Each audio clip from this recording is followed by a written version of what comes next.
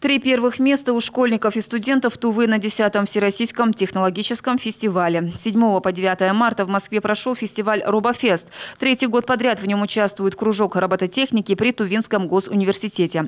С каждым годом достижения ребят из Тувы на Робофесте становятся все лучше. Если в 2016 году, участвуя впервые, команда Тувгус заняла лишь третье место в одном из направлений, то в этом году ребята привезли домой медали, кубки и дипломы победителей сразу в нескольких номинациях. В команду Тувинского вуза входили четыре школьника, два студента и один преподаватель. Ребята показали креативное и пространственное мышление, хорошие инженерные способности. Глубокие знания, интерес к предмету, научный потенциал показал и самый юный участник команды, девятилетний Максим Чернобровкин. Крупнейший робототехнический фестиваль в Европе проходил под лозунгом «Здесь собирают будущее».